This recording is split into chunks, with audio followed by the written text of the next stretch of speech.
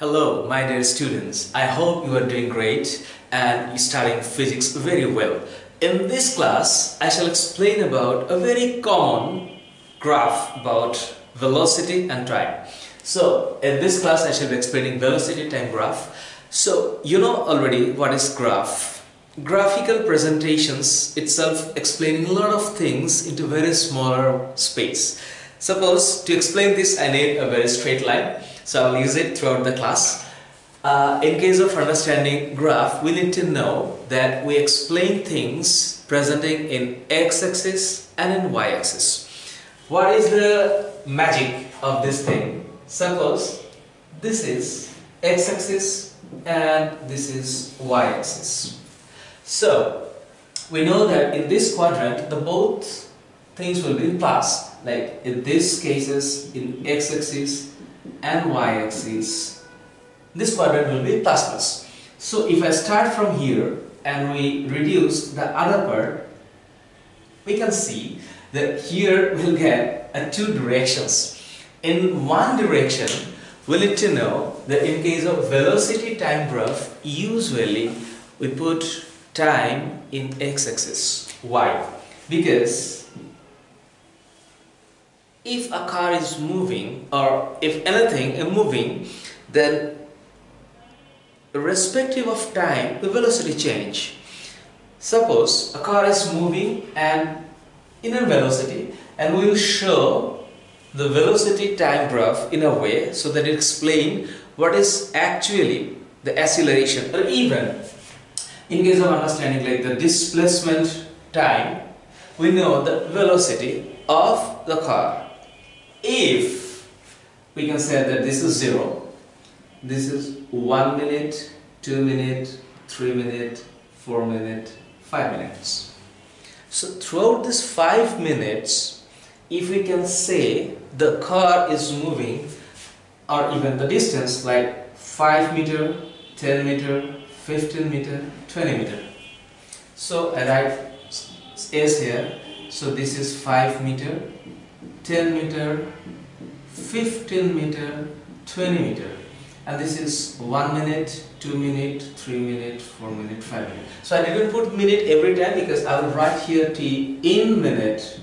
But I put meter here so I can deduct every meter here and then we can express this S will be expressed as meter.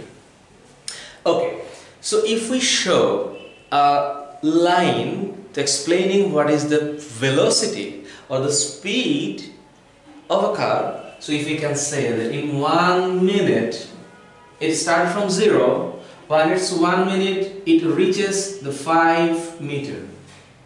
In 2 minutes it reaches 10 meter. In 3 minutes it reaches 15 meter. And even in 4 minutes it reaches up to 20 meter.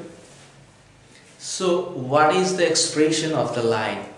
This line shows this this directly it shows that it increasing every moment.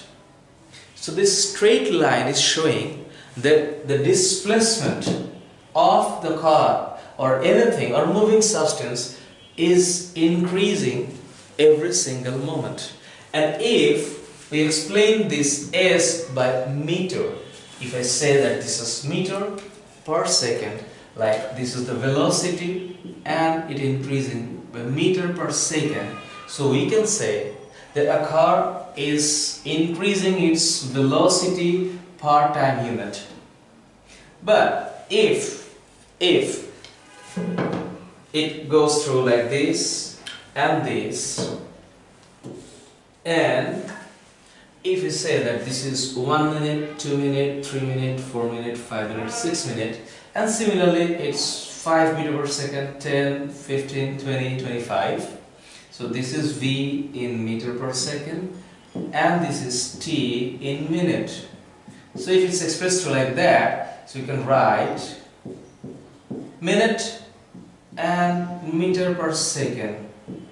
And if the line looks like this then what we need to know this line is showing that when time increases, when time passed, like in 1 minute, 2 minute, 3 minute, 4 minute, every single moment, the speed of the car is deteriorating.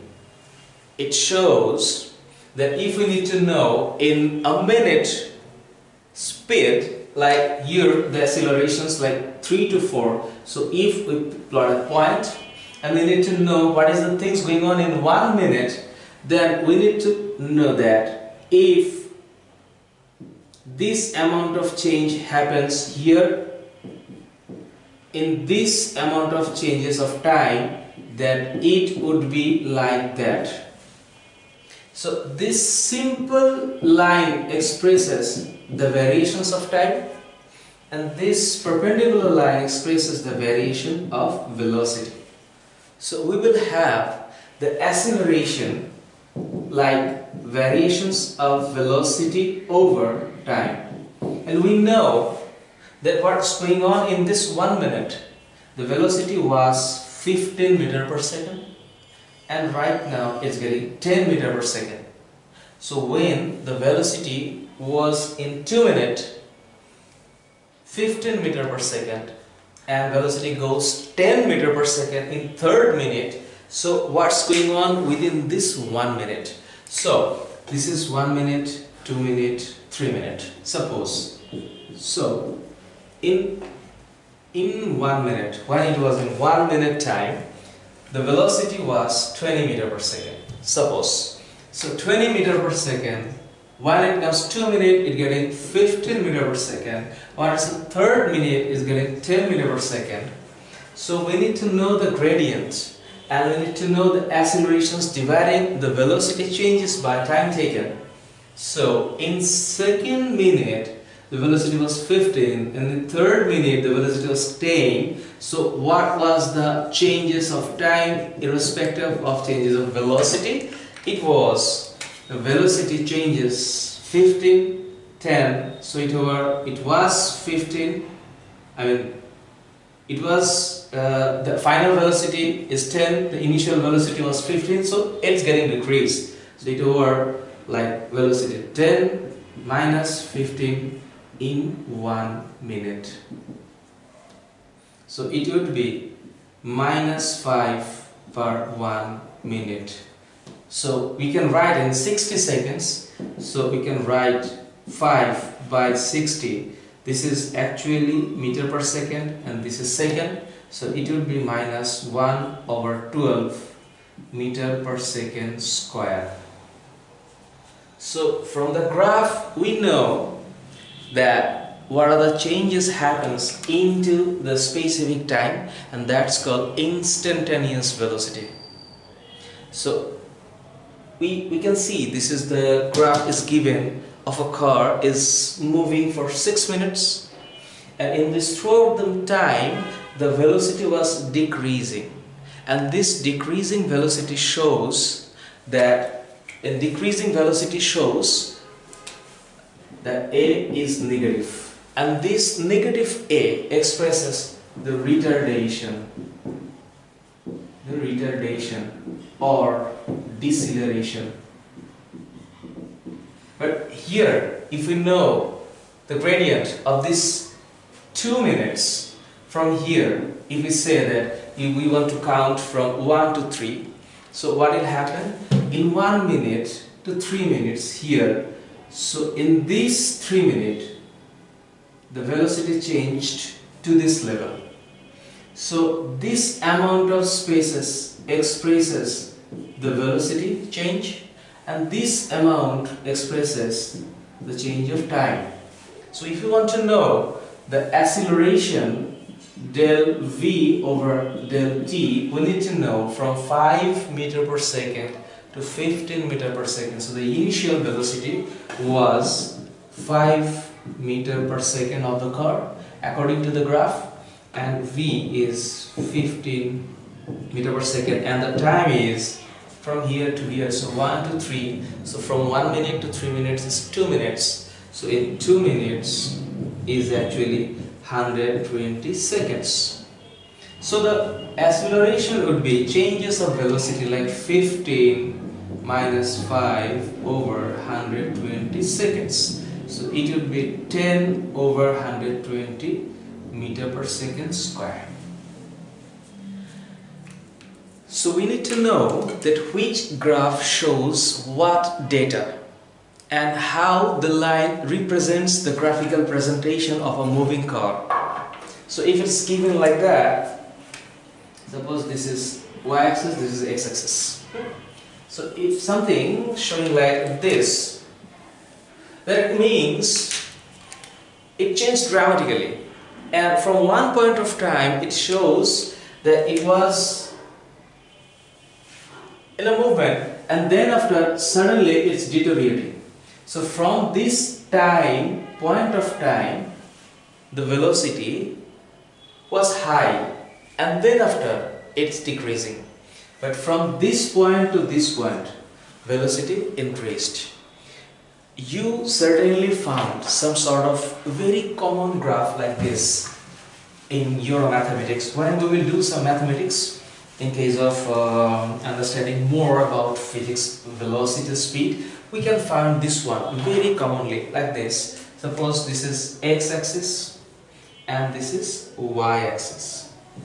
And a car is moving like this uh, from here like this and like this and what expresses this graphical presentation it means that from this point to this point.